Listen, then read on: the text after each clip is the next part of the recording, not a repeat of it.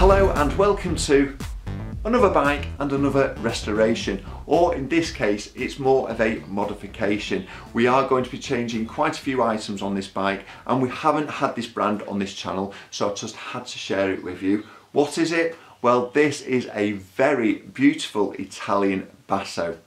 Before we get onto our bike though, as I generally always say, uh, if you're into your vintage retro road bikes and you're not a subscriber, then please subscribe because it's completely free of charge and helps out a lot.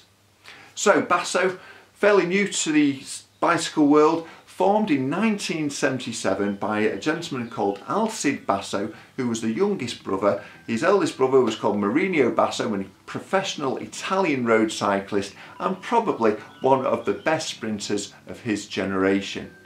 He also then went on to win the World Championships in 1972 so yeah, Alcide was influenced probably by his older brother. He started producing bicycles in his garage. It's only the age of 19 in 1974. He was more mechanically minded and uh, yes, he then went on to work for the race teams and also worked for Bianchi. So yes, a lot of influence around him and you can see that influence coming out in these frames uh, today.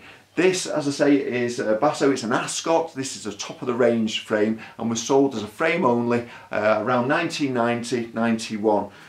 Very beautiful, it's got uh, Columbus multi-shaped tubing which reminds me very much of the Colnago Master Pews with the tubing itself. It looks round but when you get up close it's really interesting. Very much like this frame, the closer you get there's so much detailing on these bikes themselves, very interesting indeed. It's got triangular forks at the back here and the uh, frame itself, the tube here, it's actually round at the top and then goes down into a V. But you can always tell a very good frame by this rear stay here and how it actually goes up to the seat post clamp.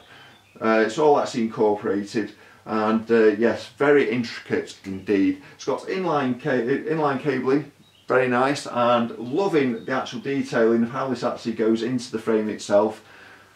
The bike, it's got Campagnolo group sets. We are going to be keeping the Campagnolo because it's the rule, but we are going to, I've got a different group set available to me, so I'm going to change that. I'm also going to change this seat because that's not very much in keeping with the time frame of this bike. Probably a Rolls saddle would probably be more in keeping and we're going to be changing this seat post. It's a 25 millimeter, so quite hard to get hold of but this is a very cheap one so we're going to change that for a better seat post um, and we're also going to change the wheels uh, we're going to get some gumwall tyres I think and we're just going to lift the bike itself and change some handlebar tape one thing that is fantastic about this bike, it is in my size, so I'm going to be taking this bike out for a very good ride, so hang around for that. But before we do that, we generally strip these bikes down, so what are we waiting for? Let's crack on.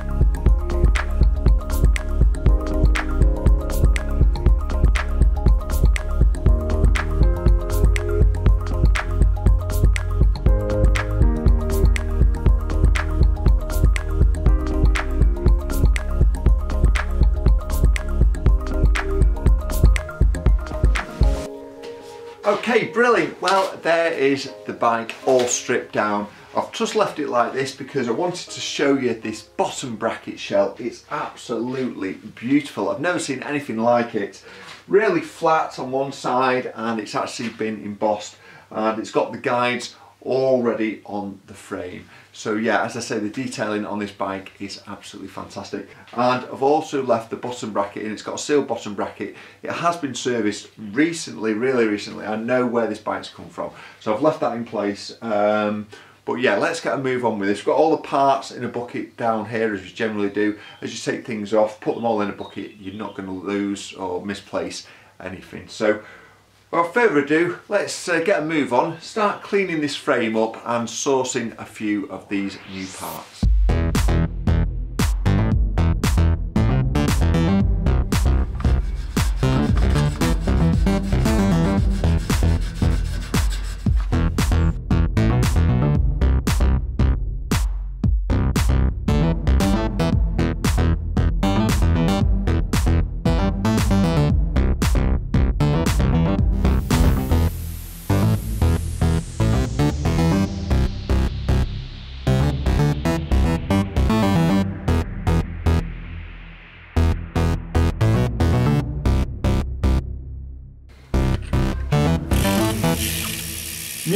To my ears. Not only do these rims sound great, but they look fantastic. These are Mavic GP4s back from the day and we've got some lovely gumwall tubular tyres on here. If you are interested in how to glue on tubular tyres, we do have a dedicated video available to watch, which is tussed up there. So the wheels are all ready to go. We've also done the frame now, which is all ready. We started off with T-cut solutions we generally do, used in the car industry just to get rid of any scratches or blemishes. We'd then use a Kurust solution. However, there was no rust at all on this frame, so we went straight into using some touch-up paint just to get rid of any small chips. I couldn't help myself but to celebrate the Columbus multi-shape tubing by adding a couple of stickers on the forks there to celebrate. So yes, that's all ready to go. What else have we done? Well, I've changed the handlebars. We've actually gone with um, some Criterium handlebars, some Cinelli handlebars, a bit more of a bend in them here. I used to use these in the day and they're just a bit more in keeping with the time period of this frame itself. So love these, nice long stem on there. What else have we got? Well, to go on the handlebars, we are going to be keeping the levers which incorporates the gear lever in here with Campagnolo but what we've done I've actually bought some nice white hoods to go on these which would lift the actual white in the basso I feel. The other thing that we've done if you remember the seat post was a 25mm seat post it did have one in however it was quite cheap indeed so this was the original seat post that was in there and we needed to change it because the value of the bike um, we've gone with a nice fluted seat post here, so it's 25 millimeter. However, it does need a little bit of polishing. So I'm going to be getting on with that and also wrapping these handlebars. So what are we waiting for? Let's get a move on with that.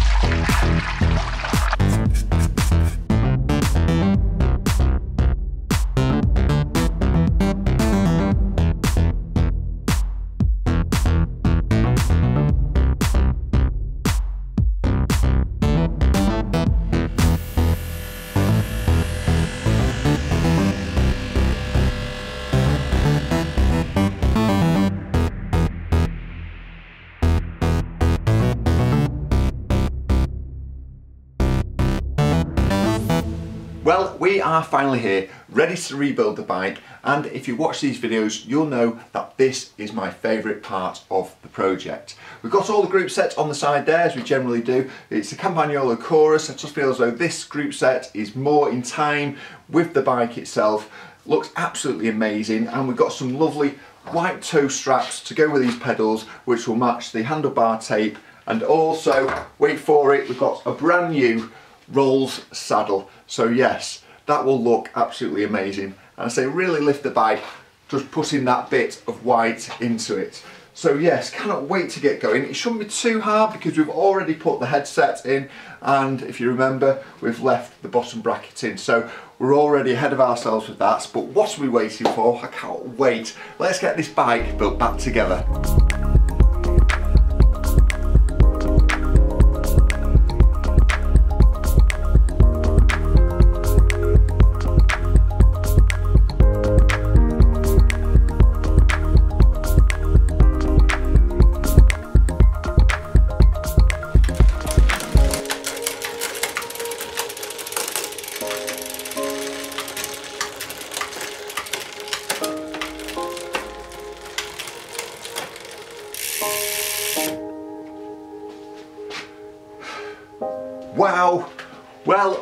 A result and what a beautiful Italian race bike this is with Columbus multi-shape tubing and full Campagnolo all the way through. I did have a slight problem with the rear mech that we tried putting on. It was an older rear mech and it didn't take too well with the Ergo levers. So we put the original Campagnolo rear mech on, it works absolutely fine and yes, Love the white bar tape with the white saddle, really does set it off. There is one thing that we do to finish these builds off, uh, well that's a ride that is coming I'm going to give it a good ride that's for sure. But we finish these builds off with a water bottle. I do have one down here, it's a very special one indeed and to celebrate the Campagnolo and the Italian theme we've actually got a Campagnolo water bottle. So yes, let's pop it in, have a look. Fantastic. Well, the sun is out, so let's get our guns out and give this bike a good ride.